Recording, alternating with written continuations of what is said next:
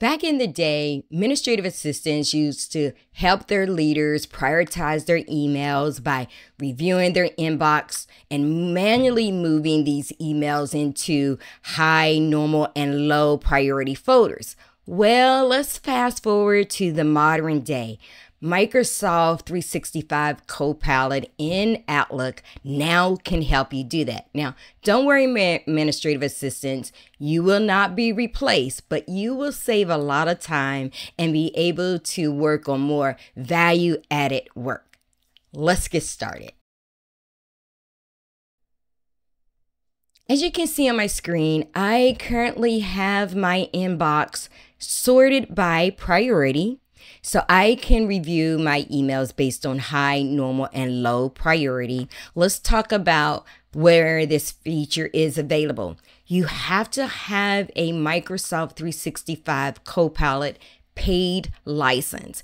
It is available in New Outlook, Outlook for the web, and classic. Now, I did notice some differences between how um, the prioritized emails are displayed on the screen, and I'll show you that in a little, a little bit later.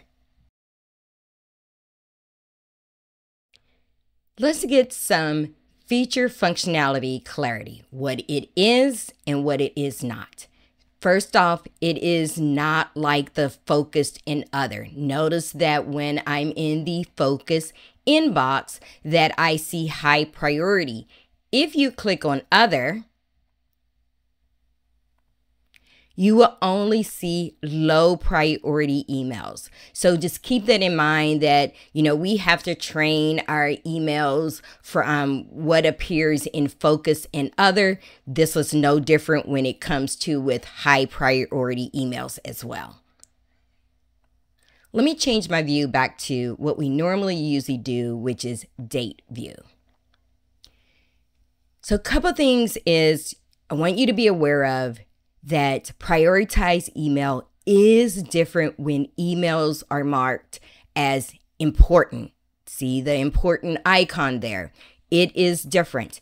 Think about important emails is when the sender has marked it important. Well, it may be important to them, but it's not important to you and your to do list. So keep that in mind that many of your um, emails that is marked important may not be classified as high priority because Microsoft Copilot looks at people, looks at if it's a project or um, the content that is in the body of the email. It doesn't matter if your name appears in the to do or CC line. Now, I'm not sure how it will behave if it's in the BCC line, but notice here I have that high priority icon next to an email. A couple more things that you should know is that Copilot will not evaluate messages that is marked as low importance by the sender or out of office emails that you receive and meeting um, invites or declines or propose new the times that will not show up or be classified as low, medium, or high. Um, mail um, you send to yourself. Now, I'm a little bit on the fence about this one because there are times where I will send my um, self a message and based on the content in the body of the email might be something important that I would like for it to go ahead and classify. So I'm going to give Microsoft that feedback and hope they reconsider that one. But mail with very little contents may not get classified, non-deliverable receipt, quarantine messages or crypt messages are not evaluated in this prioritized process. It is also important to know that if you have any rules created and having emails to automatically to be moved to the folder, they will not be evaluated and be marked as high um, or low priority. Keep in mind, this is called prioritize my inbox. So if it's automatically being moved, it's not being reviewed. If this video is adding value to your workday, go ahead and subscribe and like this video. Also, visit my website and contact me if you're interested in New Outlook training. Again, New Outlook is way different than what it was before, and I can help you jumpstart your day with email management. Now, let's get back to this video. Before I show you how to enable prioritize emails, let's look at um, the components of it. So notice that I see my up arrow saying that it's high priority. It will give you a summary one or two sentence summary of what this email is about. So this is not actually what you see in the first sentence um, in your email body. So keep that in mind. That's something different that you may have to get used to seeing. So if I open up this email, notice here I get an additional two to three sentence summary of what this email is about. Note this arrow. Now, if I click on this arrow, that I'm going to get the full summary by Copilot that, again, that comes with the paid um, Microsoft 365 Copilot license. So you still get that detail summary. The other thing that I want to point out is if you want to customize your priorities that you can do this and this will launch and go to the settings and I'll show you that um, in a little bit. You also can get there from the Copilot from the ribbon and choose prioritize. Again, that's going to open up the setting. Let's go ahead and close out this email because I want to show you how to navigate to Copilot settings. Click on View, View Settings, Copilot, and Prioritize. So to make sure that this um, is enabled, just go ahead and click let's co let Copilot prioritize my emails and show AI generated summaries in the message list. I like to see what it's there. If you prefer to see what the first two lines in the body of your email, go ahead and deselect this. You can also say apply this to low priority um, emails. I've chosen not to do that. If you come down here under customize, this is where you're going to provide Copilot instructions. Now, Microsoft was very careful um, choosing the word instructions compared to using rules, right? So we know what rules are. Now, I have here, it is from Adele. Originally, when I tried it, I said it's from, and I entered Adele's um, email address. It prefers the name. Make sure it's the same exact name the way it appears in your inbox. So keep that in mind. So if I come in as Teresa B. Cyrus, make sure that's how you enter in the name. Couple things, other ones that I tried any emails from a time period from um, relating to this conference.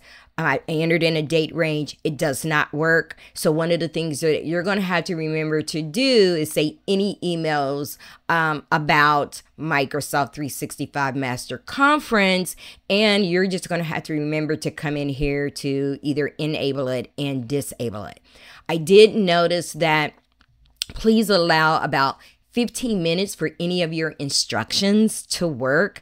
And when I deactivated um, a instruction that I had allow up to 24 hours. You can do that with high priority and if you want to start identifying what is low. Now, what I did learn is that you can only have up to 15 instructions between the both of them. So it's not 15 for high and not 15 for low. You have to have a total of 15 instructions. Microsoft has not um, shared if that is going to be increased or not. Here are a few more examples. This is coming right from Microsoft website. Notice that they kind of use it is about, it is from. And so there's a couple times that I just, you know, plot in somebody's name um, without having a full sentence um, and it didn't work well. So here are some of the examples that Microsoft provided. Now, um, go ahead and put some of your examples um, in the comments below. It is about Project X and press add. That's simple. And I'm going to go ahead and hit save.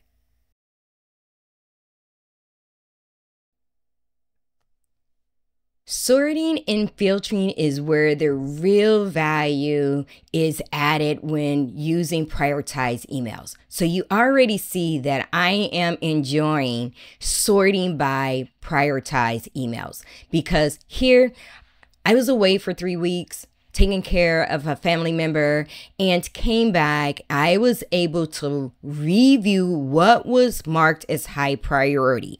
And I was able to focus on this information first right?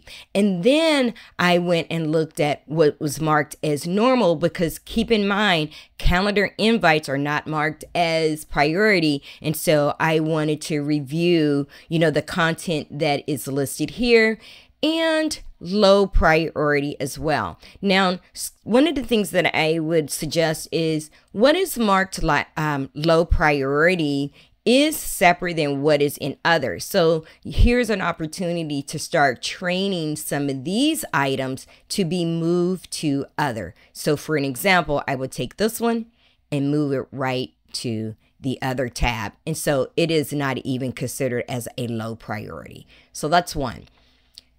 You can also filter. And let's go back to the standard date. This is what we are used to we can also filter on high priority.